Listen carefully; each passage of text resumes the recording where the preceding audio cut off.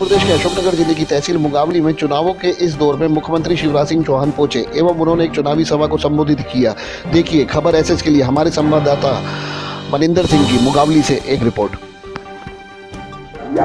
अब ईमानदारी से ज़्यादा दिल में सोच के नहीं देना, मैं तो आपको ईमानदारी से सोच के अगर एक रुपया किलो गेहूँ चावल नमक मिलता है रहने को ज़मीन का टुकड़ा नहीं है, पट्टा मिल जाए।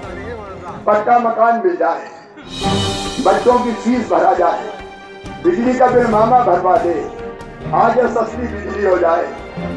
बेटा बेटी जन्म ले तो डिलीवरी का पैसा मिल जाए। इलाज का पैसा मिल जाए। मौत एक्सीडेंट हो जाए तो पैसा मिल जाए। अंतिम संस्कार का पैसा मिल जाए। रसोई गैस का कनेक्शन मिल जाए। तो बताओ गरीबी बचेगी क्या? अरे ज़ोर से बताओ बचेगी क्या? नहीं बचने दूँगा गरीबी।